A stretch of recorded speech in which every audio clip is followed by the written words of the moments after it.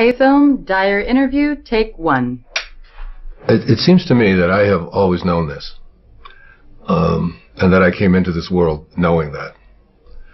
That um, you become what you think about, uh, wh- whether you want it or not. Um, I was really very blessed. I, I lived in a in an orphanage un, until I was ten, uh, in a series of foster homes um, uh, with my my older brother, but he was uh, sick uh, quite a bit. He was very anemic, and and I uh, I used to have to help him uh, as a young boy. I was he was 16 months older than I was, and this was when I was four, five, six, and seven, and so on. and I can remember. Um, I can remember I lived out in, in Mount Clemens, Michigan, at, at 231 Town Hall Road with a lady. Her name was Mrs. Scarf, and she she had uh, a lot of children would come and go from there. Um, and I was in a foster home because um, the circumstances at that time um, were such that my father had walked out on his family, and um, I was born uh, in the Depression, and there was uh, there was no welfare and things like that in those days. So like people just helped each other out. And my mother was working as a candy girl uh, in Detroit, on the east side of Detroit, earning seventeen dollars a week, uh, and she uh, she just didn't have the money and wasn't able to uh, provide for her children. So we lived out at this one particular place, and um, I can remember um, whenever a new student would, a new child would come to the house, they would always say, "Go find Wayne." and I would be out in the back. Um, they had orchards there, and uh, this was no hardship. This was no difficult thing for me. This was a great blessing, I think, in my life. Uh, these uh, these those earliest days, and I can remember a girl came, a girl named Martha came, and they were dropping her off for basically the same reasons that we were dropped off there.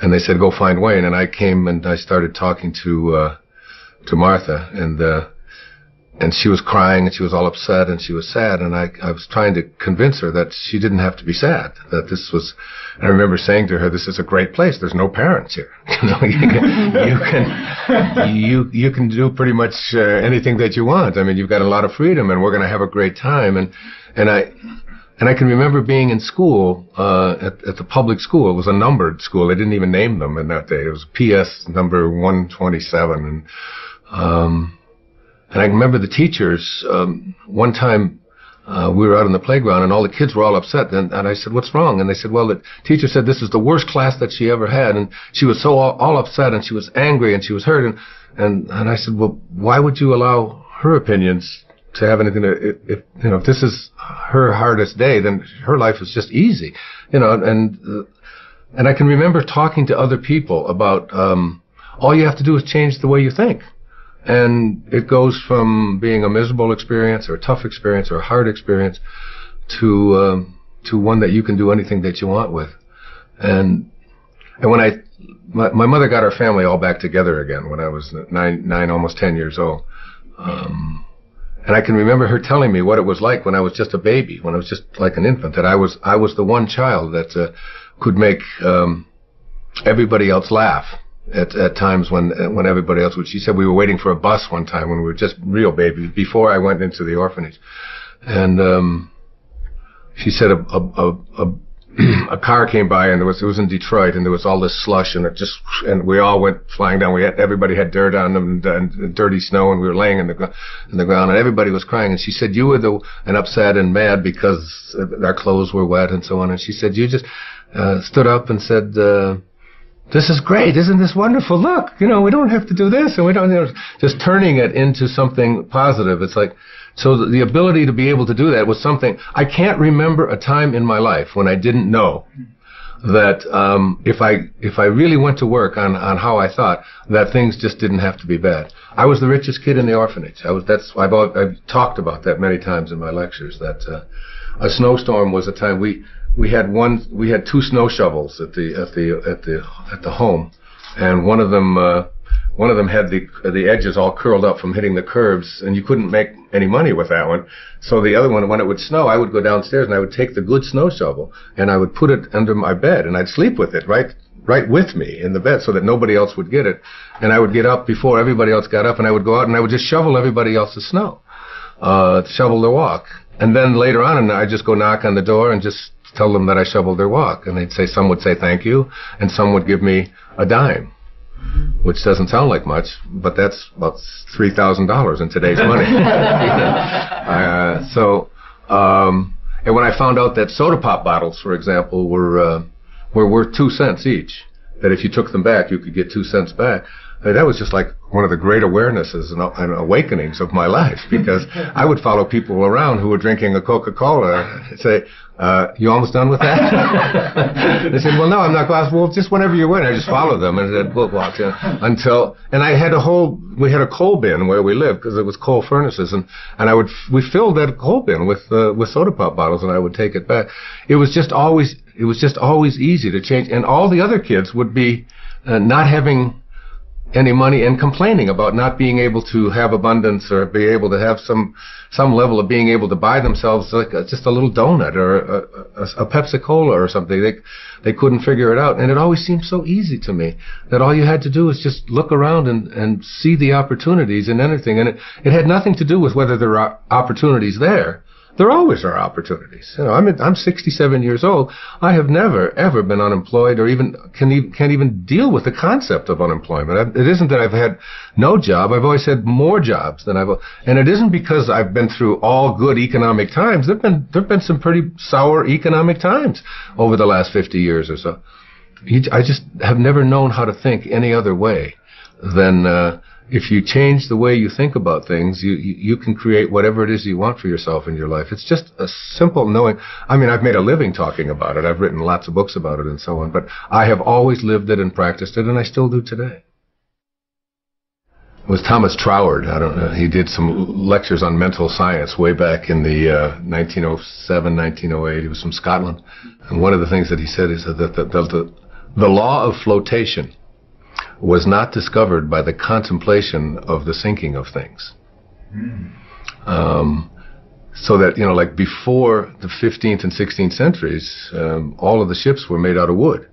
Uh, not because iron wasn't available and steel wasn't available, but because there was a belief that wood floated. So therefore you had to make ships out of things that floated. That's literally how the, and then someone came along and said that it has absolutely nothing to do with what things are made out of. It has to do with the amount of water that is being dispersed. That's, that's what determines whether something will float or not. And I think about that all the time because it's, it's in the contemplation of what you desire that you create what it is that you want to have for yourself. It's in your willingness to contemplate it.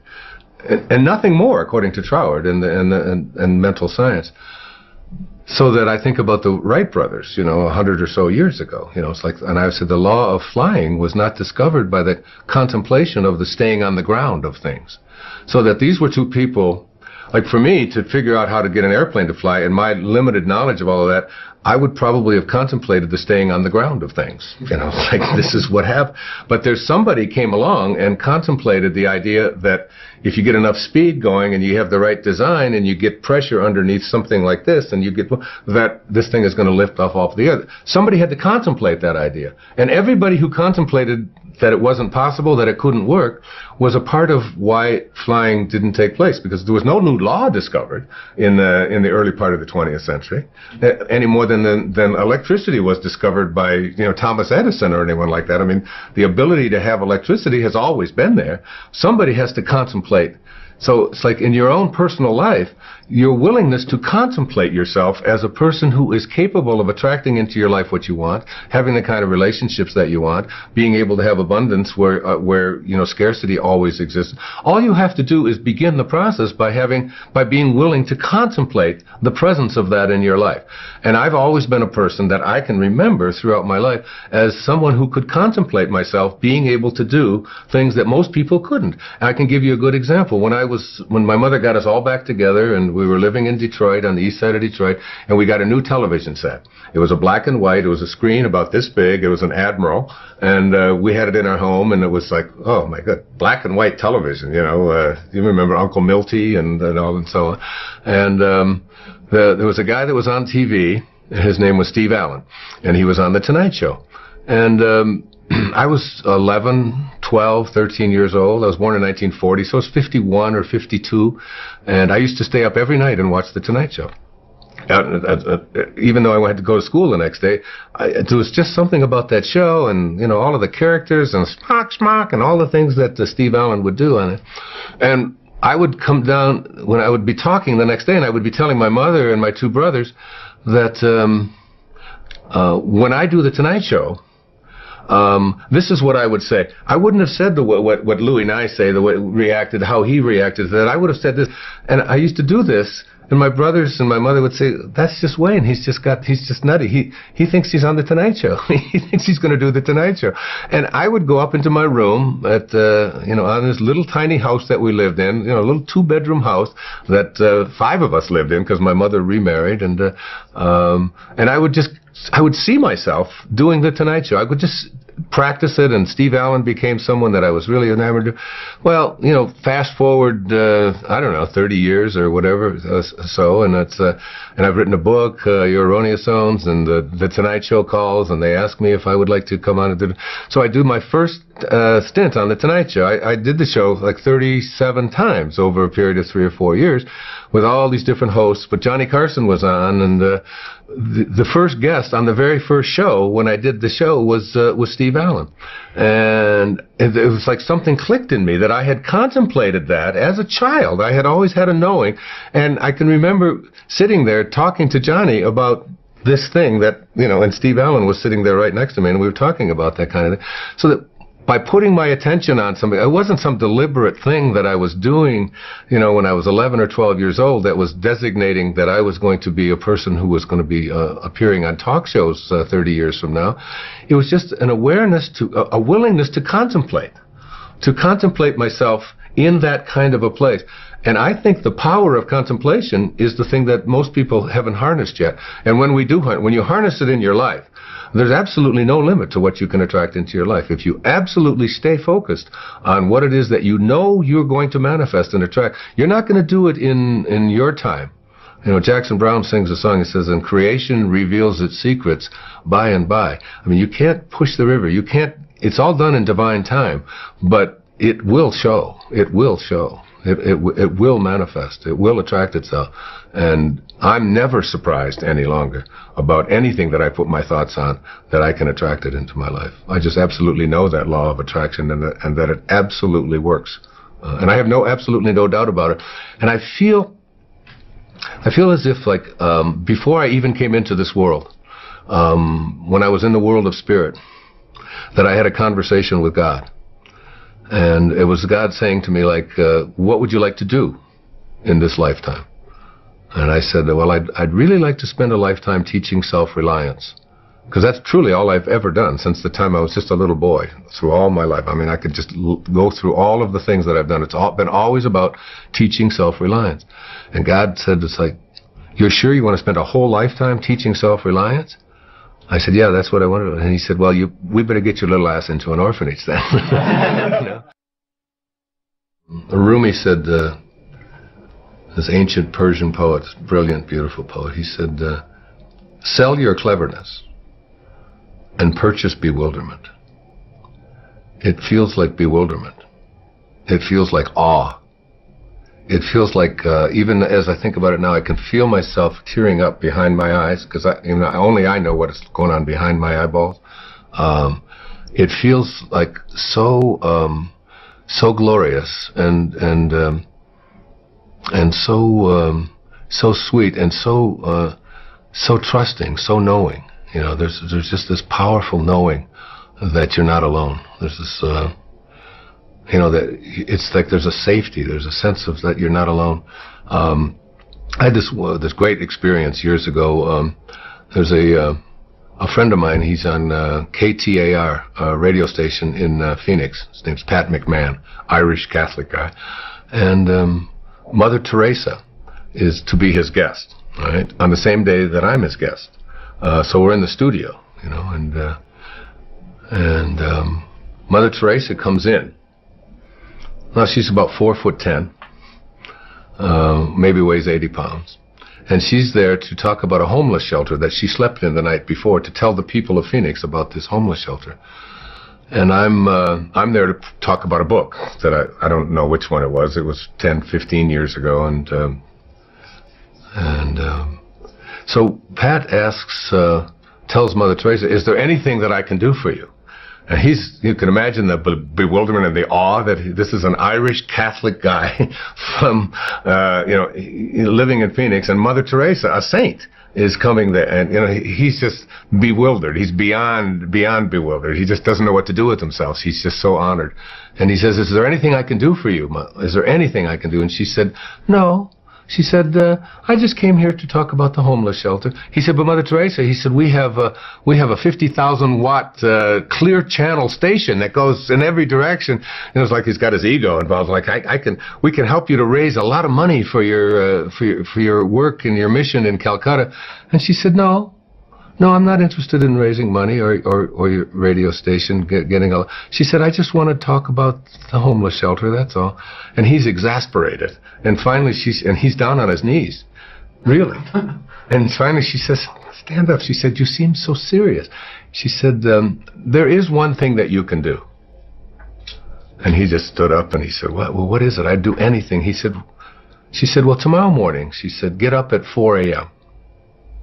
And she said, and go out onto the streets of Phoenix and find someone who's living there who believes that he's alone and convince him that he's not. That's what you can do.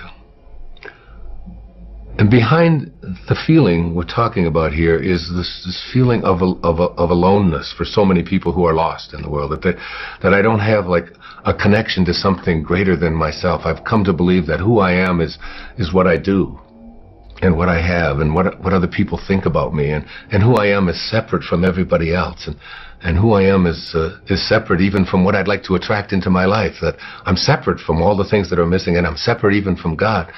And that there's there's a place within me that knows that I'm not separate from any of that. That that if there's no place that God is not, or that source is not, or the, the energy that provides, that is always giving and always creating is not, if there's no place that it is not, then it has to be in me. I know that. And if there's no place that is not, and it has to be in me, it has to be also in everything that is missing in my life, or that I think is missing. It's there too. So that in some mysterious, invisible way, I'm already connected to everything that's missing in my life through something called spirit.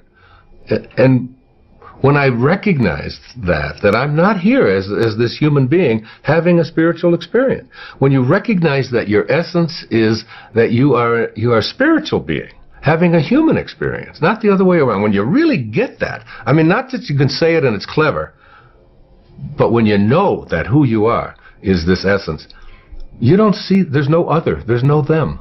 There's no nothing outside of you. You're, you're connected to everyone and everything. As the Native Americans, you'd say that no tree has branches so foolish as to fight among themselves. Living the Tao, the Tao Te Ching, this, this uh, 2,600 year old, uh, some people call it the greatest, uh, the wisest book ever written.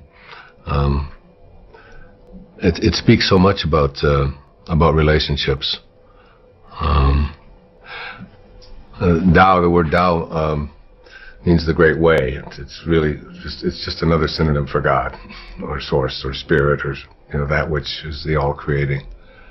And one of the things that it says that was really helpful to me, probably the most helpful thing in, in it, was that whenever you have a conflict of any kind in any relationship, whenever you have a conflict, that the person who is willing to be of Tao, of God, of Source, uh, is the one who will um, practice forgiveness or will go go to the person that they have a conflict with and and bring love to it instead of the freeze out instead of the anger instead of the hatred instead of the revenge instead of so many of the things that we do when we have conflicts in our lives uh, we just don't talk to that person. Like i'm not talking to that i'm not talking to him. He's you know or he, you know he's going to call me because i called the last time and uh, but the person who lives the Tao life, the, uh, uh, the, the, life of, of, of, a higher consciousness, is the person who says, um, "I end all conflicts on love, on love," which is what where we all come from. We come from we come from a, a source that is love.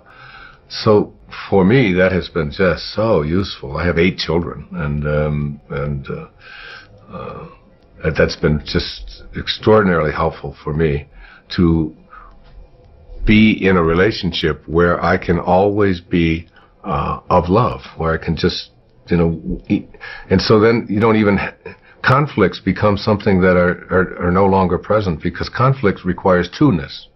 In order to have a conflict, you know, you have to have two, you have to, two different opinions or whatever. But if you live in oneness, if you really see yourself in in everyone else, see yourself in uh, in all the things, including the plants, including the animals, and including all beings, and so on. If you just if you just suspend this ego part of you and just see yourself in that other person, then your arguments are really with yourself. And your, your hatreds are really about yourself. And you begin to really see that um, I don't have to project anything onto anyone else that isn't what I choose to be. And it's again, it's the, it's having the curiosity, it's having the willingness to, uh, to say, this isn't working for me. You know, it's like you get bit by a snake and you're bit. Okay. So, but the bite doesn't kill you. You're still there. You know, the, you don't buy, die from a snake bite. You don't die from what somebody, you don't get hurt from what somebody else does to you. It's the venom that continues to pour through your system after the bite. That's what causes difficulties in relationships and so on. And when you recognize that, that to be angry, to be full of revenge, I mean, I could bring anybody in this crew in here and do a muscle test with them and ask them a question to hold your arm out like to, to hold your arm out like this mm-hmm. and uh, and think about somebody who's abandoned you or abused you, who did something that you didn't like, who borrowed money from you and didn't pay it back, who walked out on you, someone that you hate, and just for a moment, just for a moment, hold your arm out as tight as you, as hard as you can. I'm going to put two fingers right here and I'm going to push down, and you think about getting revenge. You just think about just even if you don't want to do that, just think the thought of I'm going to get even with that bastard for what he did or what she did. I'm going to really get even with him, and you push, and that you find out that they have no strength when you think a thought of revenge. There's no strength in there. Kinesiology. Say a very simple test. Then if I say, then if I say to yourself, okay, I, I have, I have somebody that. Okay, um, sit down. All right, here, come over this way. Okay, just uh, yeah, put your arm up. Like here? No, over here. Over here. Yeah. Okay. Okay. Now I'd like you to think of uh, first of all, tell me your name. Michael. Michael what? Gorgian. Is that the truth? Yeah. Tell me you're telling the truth. I'm telling you the truth. My name is. Michael Gorgian. And that is the truth? Okay, That's resist me as hard as you can, okay? And I'm going to just push down, okay? So that's the truth. Now, for just one second, just make up a name. But tell me that it's the truth. I want you to lie to me. What is your name? My name is Ron Garcia. My name is Ron Garcia. Is that the truth? Yes, that's the truth. You're telling me the truth? That's the truth. Say it again. My name is. My name is Ron Garcia. And that is. The truth. Hold that thought. Hold that thought. You see the shift? Can you see a, ch- a change in you? Mm-hmm. Can you see a slight change in you? Yeah, okay, I- you're I strong. that. Okay. Yeah. Now I'd like you. I'm just doing that for a little Yeah, bit. yeah. Okay. Now I'd like you to think about someone. I'd like you to move over this way. There we go. I'd like you to think about someone in your life that abused you, abandoned you, that did something to without any details. I don't want to know any of the details. Um, and you are and you are hurt by it, and you are angry about it. And forget about whether you've forgiven them or not. I want you to just think about getting even with them. I want you to think about revenge. Okay, I'm going to get even with that person, no matter what. Okay, and put your arm out. And can you hold on to that thought? That thought of revenge. Okay. I'm going to get even with that person for what they did. I'm angry at them. And hold on to that thought and just think, resist me as hard as you can and notice what's happening with your arm. Resist again one more time. Think that thought. I'm really going to get angry. I'm really pissed. I'm really hurt. I'm really. I'm going to get you back for that. Okay, and resist me as hard as you can. Now notice what's happening here. You have almost no strength. I'm not even pushing down. Now I want you to just change the thought. Okay. I want you to change the thought right now, and I want you to change it to one of love and forgiveness. I just want you to surround them with the light of God. I want you to surround them with the most beautiful love that you can think of, and just think of that thought. They did what they knew how to do, given the conditions of their life. I can't ask any more of anybody than that.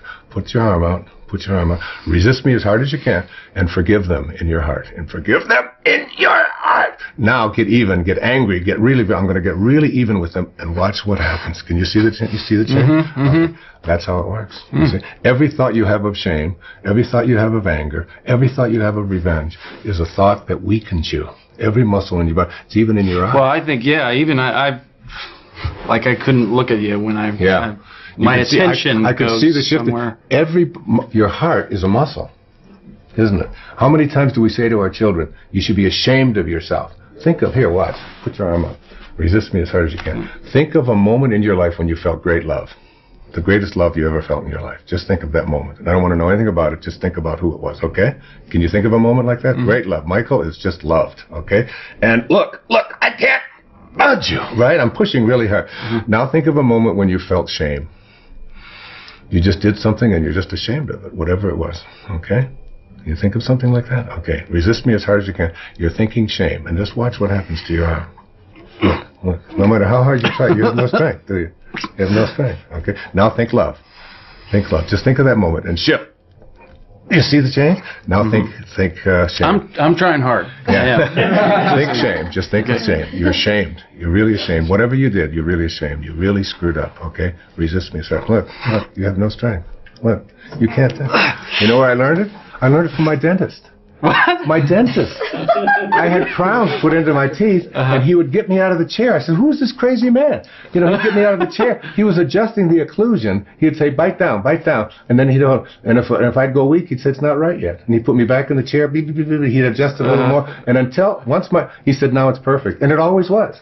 It always was. Wow. This is the ama- This is the power. Who is who's your dentist? It's like what, what we just demonstrated here is the power of the thoughts that we have. What a thought of shame, a thought of anger, a thought of revenge.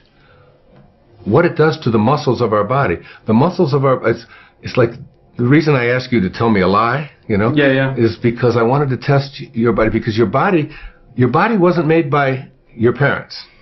You like we like to think that our bodies were made by our parents. That's because you look a certain way and all of that. But if we take the tiny little drop of protoplasm that uh, created your created you, and we try to find out its origin, and we take it all the way back to sub sub subatomic particles and reduce it, reduce it, reduce, we find out when we put it in a particle accelerator and re, and re- rev it up at 250,000 miles an hour and collide it, and we open it up, there's nothing there that you came from the invisible. You came from source. It's the spirit that gives life.